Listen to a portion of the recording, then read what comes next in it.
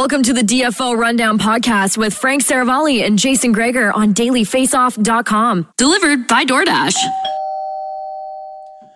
Our guest today burst onto the NHL scene in 2014 15, scoring 40 points in 65 games as a rookie defenseman. And in his eight seasons, he has the eighth most points among D men with 374 and 572 games. He's the pride of Gothenburg, Sweden, and the newest member of the Anaheim Ducks. John Klingberg, welcome to the DFO Rundown. How are you doing? Great, guys. How are you guys doing? We're doing good. Uh, we appreciate you doing this, John. It's uh, we're into August now, and um, how stressful has the last few weeks been for you? Uh, you were one of the, the big name free agents, and uh, you had to wait maybe a little bit longer. Can you take us through the last few weeks and how it was for you?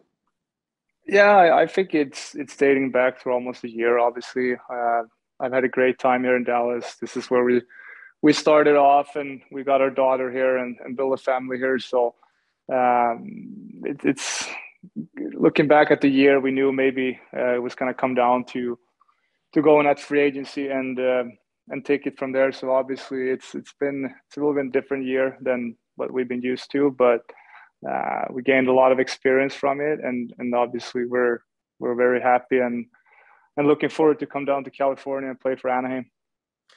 I guess to add to the whole experience, John, you changed your agent uh, throughout the process. Can you can you talk about that? Was that was there frustration, disappointment? What went on there? Uh, me and Peter, uh, we had a great relationship for for 12 years, and uh, he's been one of the the closest to me. Uh, but at the end of the day, I made this decision on a personal level, uh, an individual what I thought was was best at the moment and for me and my family. Uh, so it was just a business decision on my end. John, looking back at the last couple weeks, I'm sure there were a number of teams that were in the mix that were willing to offer you a one-year deal. Why did you ultimately decide to go with Anaheim? What was it about them that drew you to the Ducks? Yeah, the more into free agency, obviously, uh, we understood it's going to be a shorter term contract, and then we kind of narrowed it down to a few teams and um, where I saw myself having a good year um, on a personal level, but having success with a team uh, that I wanted to stay with and, and try to make the playoffs and have a good run there too. Uh, I saw Anaheim as the best fit.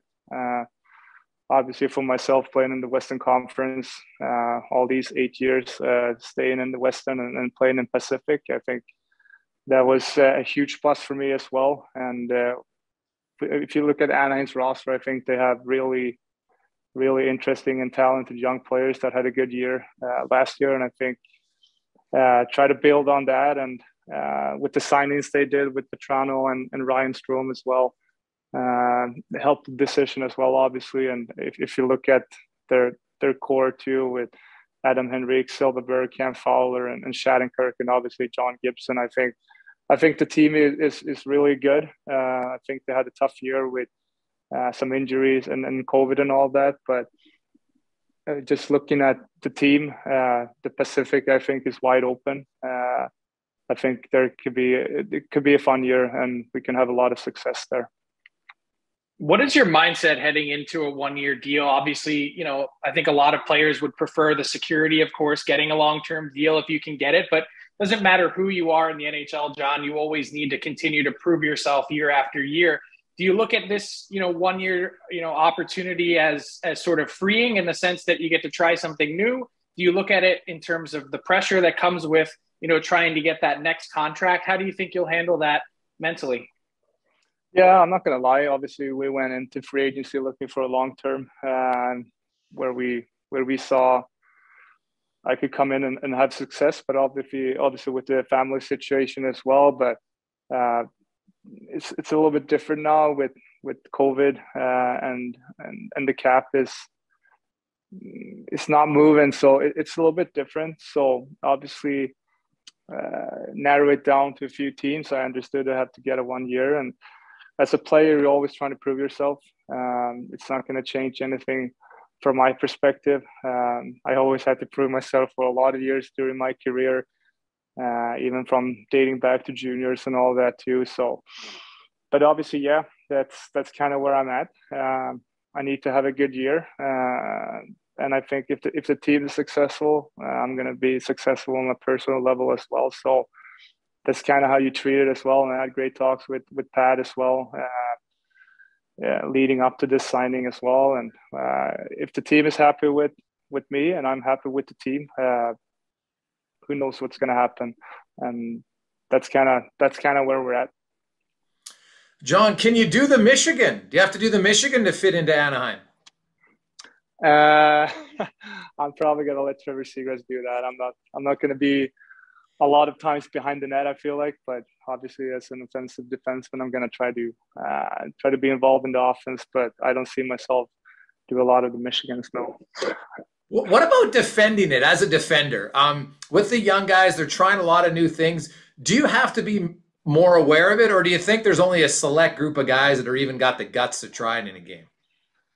Uh, I think it's a little bit different. Uh, obviously, when I came in as a rookie as well, everyone was saying the game is changing. But on the other side now, when I'm 30 um, and I'm the kind of veteran, I, I, I see that the game is changing too. But I think it's to the good to the good part. I mean, it's uh, it's all for uh, hockey. It's all for show. Obviously, it's it's uh, supposed to be fun, and I think when you score six goals like that or make plays, it's it gets the crowd into it, and I think you, are building the game. So I think it's great that you see a lot of young guys coming in and uh, not just watching and learn. Obviously, they do that as well, but coming in and try to be themselves and uh, and be as good as they can from the very start. If you compare Gothenburg, Sweden, where you grew up in Sweden, to now living in Dallas and now in Anaheim, I'm guessing it's a little bit warmer in both of those um, those situations. How how different? How did how did you make the transition? Uh, looking back to 2014, 15, John, how how challenging was it coming over from Sweden?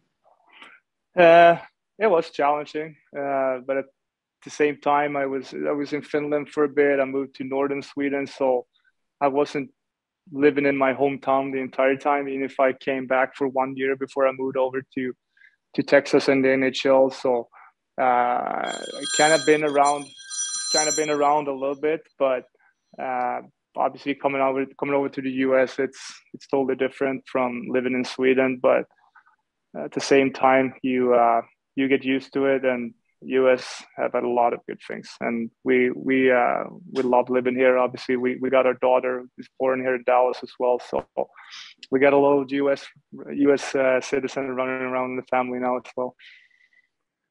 That's pretty awesome, John. The connections you made in Dallas, you could tell were real uh, with your teammates who became close friends. Uh, saw some videos and pictures from your wedding and over the last few weeks. Uh, it looked like one of the more fun weddings I've ever seen. Just what was it like having all your teammates uh, from Dallas uh, come over for the wedding?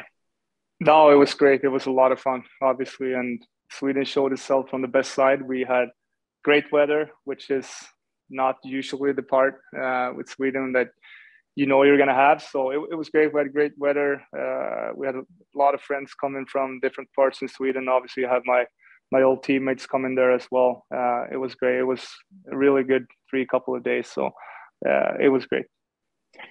Was it also maybe a little bit of a reminder of how tough it was to leave the Stars? You know, knowing that you had so many connections there and close friends. Yeah, uh, it is. At the same time, uh, I feel like those friendships is going to last uh, for a lifetime as well. It's not going to be the be the same, obviously, seeing them every day, but um, we've been good in staying in touch throughout the years, even in the summers as well. So uh, I'll cherish my time in, Dallas for the last eight years a lot. Um, obviously, this is where I came over as a as a rookie, even if I played some senior games back home in Sweden, coming over here and uh, start your career for real, and uh, obviously uh, building a building a family here as well. So. Uh, Texas and Dallas has been great for us. Um, we cherish our time here, but very excited to to start a new chapter as well. John, as a as a as a young father with with a young family, I noticed you have a full no move clause until January first, and then it's a, a ten team uh, no trade clause in, in the second uh, half of the season, basically. Um, when you were signing this one year deal, do, do you weigh that possibility that if you guys aren't in the playoff hunt, that you know you're a pending UFA and you know Anaheim could probably get a lot for you? Do you balance that in? Is is that harder when you have a family that you might be uprooting middle of the season? No, I mean, I think that's just the side of the business that you have to understand. So, uh, signing with Anaheim, it, it, wasn't a big deal that we were going to get that because obviously uh, they're signing me to be there for a year now and, and help the team win. But uh, depending how how things go, we want to be able to to see see us around for different options, not just the team, but uh, me as well. And I think I think it came down to that, and it was a great fit for for both parts. Where uh, we'll see what happens in the future, but obviously the main thing is coming down there and and having a, a successful season as a team. And if the team is successful, I think uh, it's gonna I'm gonna be successful on the individual part as well. John, a lot of the time we kind of forget maybe the human element of it. Uh, you know, playing in, in your last year of a contract after a long term contract, it's something you never really had to worry about. You just went out and played. Did it weigh on you at times during the year that you didn't have the contract extension? You obviously very happy in Dallas. So how did those conversations go? You know, we'd heard about trade requests. Was was it a mentally different year for you, and, and did it have any impact on how you played at times?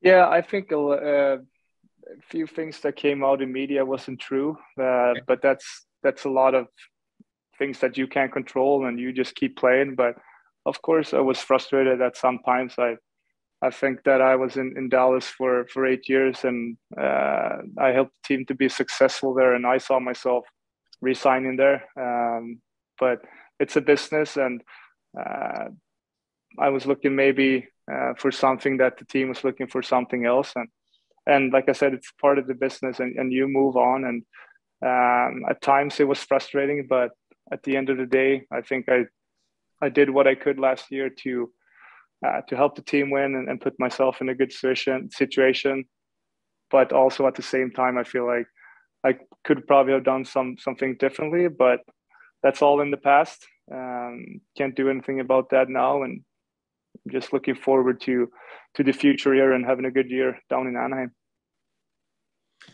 Looking ahead to the Ducks, uh, they made a big change last year. Uh, for years, their power play had really struggled, John, and you're obviously a pretty good guy on the man advantage. They took a big step forward. When you're looking and signing at teams, are, are you looking at specific things like that, like how I would fit in on the system that they run on the man advantage in Anaheim, for instance?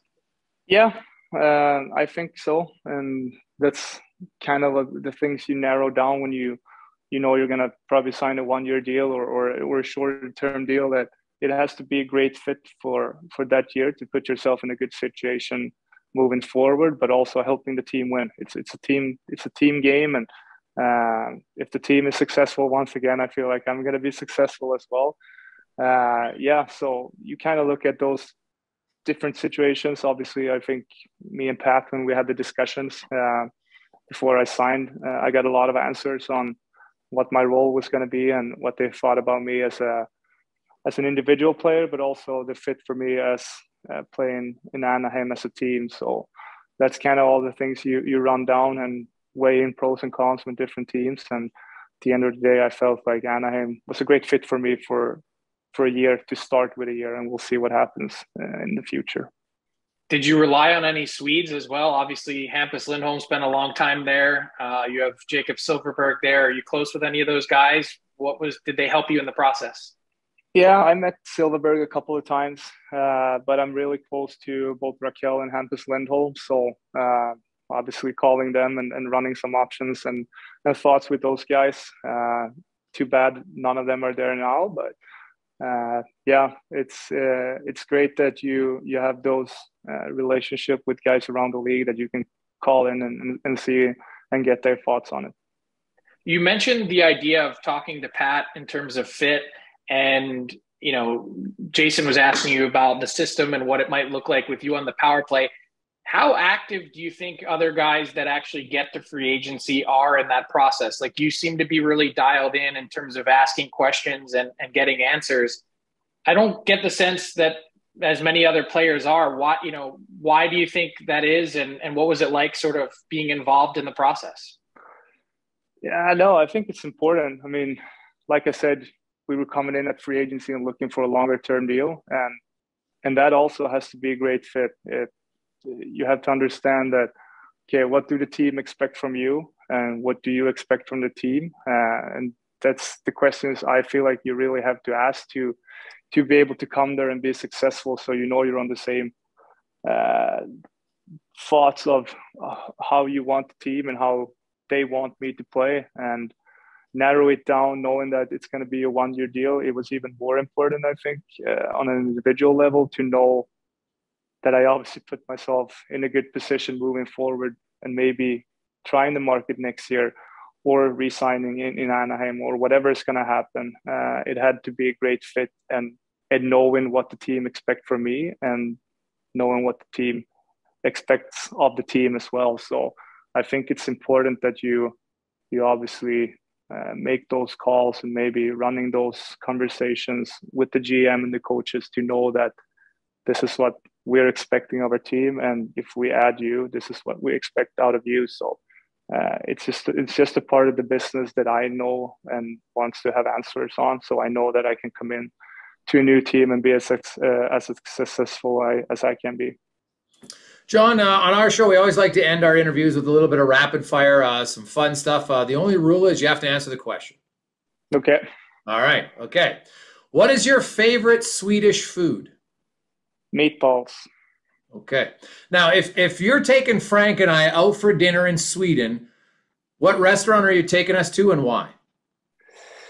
Uh, Toso. It's a restaurant in, in Gothenburg. I think it's a uh, it's a great restaurant in, in downtown Gothenburg, and it has some some great vibe and good sushi. Good. Okay, sushi. All right, I like that. Now, I was looking up. Are you a metal fan? Because metal music is huge in Sweden. Uh, I'm not the biggest metal fan. Uh, I'm kind of listening to all different kind of music, but uh, it's not my first choice. Now, because I, I, I actually googled up the top ten Swedish bands, and most of them were metal, and I like Opeth and Meshuggah and Bathory and stuff like that. Um, is like, have you been to a metal concert in Sweden? I've heard that it's quite the uh, quite the event. Uh, I haven't. No. oh, okay. Now, are you an ABBA guy? Uh, yeah. I think when you you go into the dance floor and, and feel some some dance moves, ABBA is a great choice. Okay. Um, which one of your former teammates would have fit in best as a Swede? Uh, ben Bishop. Why? Uh, just very social and outgoing guy. Uh, I know you guys probably doesn't think that of Swedes. That's probably just because they're uh, a little shy of talking English. But other than that, I feel like a lot of Swedes are very outgoing. Um, actually, honestly, most of the Swede guys, they all come across as like genuinely beauty guys, like super outgoing. Um, what was your favorite hobby as a kid? I was always into hockey, all different sports, but hockey was my number one, and that's kind of all I wanted to do. Now, if Carl Ohley and John Klingberg, who is the best footballer? That would be me. is there anything that your brothers are better at than you? Uh, yeah, my brothers are probably better at me than lift, uh, at lifting weights. I'm not the biggest and strongest guy, so they're probably a little bit stronger than me. Okay, so uh, they spend a little bit. So, what is your least favorite workout in the gym? Everything upper body. really? So, so if John Klingberg, like, if so, bench press is not your forte. No, uh, you skate with your legs, so I prefer doing leg work. Okay, I like that. Uh, are you a reader? Uh, not really. No. No. Favorite movie? I like the Lord of the Rings. Oof, I like that. And now that you're going to Anaheim, have you been to Disney? Uh, have you been to Walt uh, to Disneyland? I've been once. Uh, I actually went there with Rakell uh, once. So uh, been there once. It's probably going to be a lot of times now with one daughter and another way, another one coming as well. Oh wow, second one. I love it. Now, what what was your go-to ride? Like, are you a roller coaster guy? Do you go on like do you like the the scary twisty rides, or are you more of a passive rider? Uh, growing up as a kid, uh, obviously roller coaster was a lot of fun, but uh, nowadays I feel a little bit dizzy doing it. So I'm probably more of a passive writer now. Okay, awesome, John. Thanks so much. Uh, I really appreciate uh, your honesty and uh, best of luck in Anaheim. Thank you so much, guys. Thanks for having me. Thank you, John.